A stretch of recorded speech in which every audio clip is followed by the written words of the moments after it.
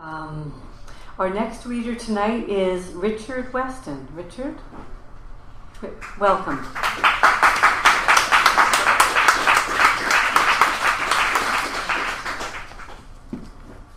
Two times hard to follow.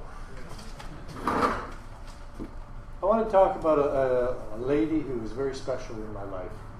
Um, she was from British Columbia and she uh, married a Swedish fellow. They settled in Sarnia, almost to Prince Edward or Point Edward, and uh, had two children. One of them, fortunately, married my oldest brother. And this is a fond farewell to Swanee uh, in remembrance of her in the celebration of life. So, to you, Swanee, we all come to say a fond farewell to a person who has not has been touched, has touched all of us and made our hearts swell. You welcomed us with hugs and nice kisses.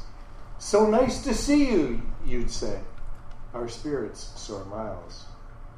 Your friends here today bridge all vast interests and ages just like a broad spectrum of books you read, pages and pages. Words used to describe you are dignified, caring, precise. But there's one thing you don't like, and that's those horrid little mice.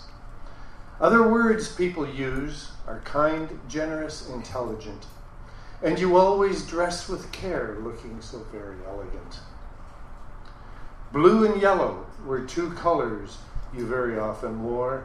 Methinks you were bridging the space between BC and the Swedish shore.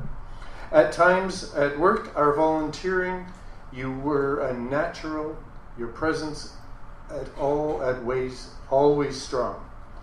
Those determinate more determination, confidence, and sincerity than mighty King Kong. Your walking face pace left more most people in their mid dust. To walk with you, being in shape was a definite must. Other interests you had were Tai Chi and bridge, clearly two of a kind. The first nature the spirit, the second the mind. Your love of people, special occasions, the theater and travel demonstrated your sense of humor and vitality. Nothing made you unravel. You always, you always led by example. Your legacy lived on through your two lovely daughters and your talented grandson. And so, dear Swanee, we'll say au revoir to your wondrous soul. We know you'll be waiting to welcome us all at life's final goal. Au revoir.